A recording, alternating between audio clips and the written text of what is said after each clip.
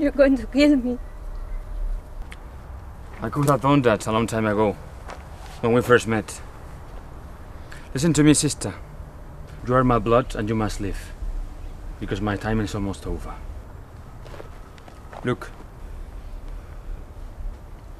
Our mother was a very weak woman. Maybe it wasn't her fault, but that's what she was. She didn't care how. She just wanted a child. Here we are. Because one woman's whim.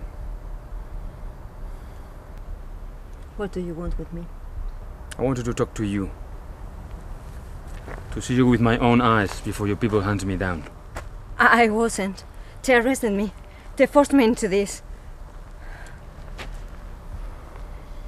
They're gonna find you. you think I know that? Why do you do it? It gives me pleasure.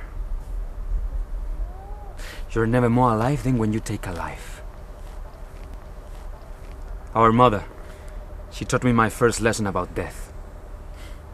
It's fragile beauty.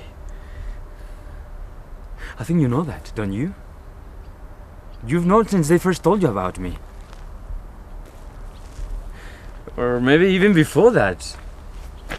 We are cut from the same stone. They call you sick, deranged. It's not sick or unnatural. It simply is. We simply are. Don't tell me you don't know how good it would feel.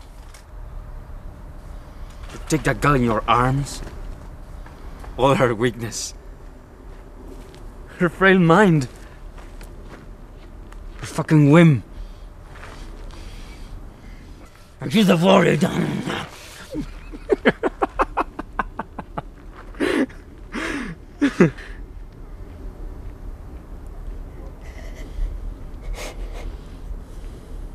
They can try to purify our genes in the womb. But they can't clean the world we're born into.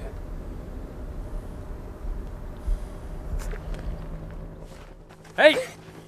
I got her! I got her!